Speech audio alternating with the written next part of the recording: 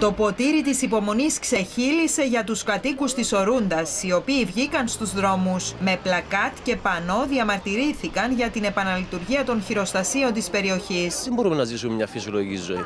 Όπως ούτε εμείς ούτε τα παιδιά μας. Δυσοσμία, κουνούπια, μύγες να φανταστώ. Εννοείται. εννοείται. Ακόμα τα ρούχα για να βγάλουμε έξω, να, να στεγνώσουν τα ρούχα, ξέρω που είναι το πιο απλό πράγμα, δεν μπορούμε να το κάνουμε. Κραυγή απόγνωσης από τους κατοίκους της Ορούντας για την επαναλειτουργία των τεσσάρων χειροστασίων.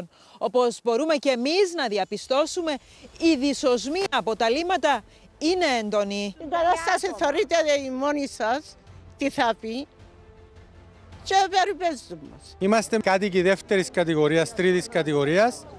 Δεν έχουμε ανάπτυξη στο χωριό. Θέλουμε απλώς να αναπνέουμε καθαρόν αέρα. Ο κοινοτάρχης της Ορούντας, Ανδρέας Ταουσάνης, είναι απόν. Όπως λένε οι κάτοικοι, είναι ο ίδιος χειροτρόφος και παρέχει στήριξη στους χειροτρόφους. Η στάση που, που τηρά όλο το διάστημα είναι να στηρίζει τη, την ύπαρξη των χειροστασίων. Ο ίδιος ο κοινοτάρχης δεν θέλησε να σχολιάσει. Αναλαμβάνω τις ευθύνες μου πέραν από όσο πρέπει.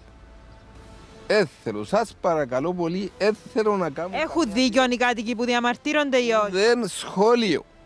Ουδέν σχόλιο. Τι άλλο να σου. Ναι, ούτε σχόλιο, ευκάλαμε σε με τους ψήφους μας.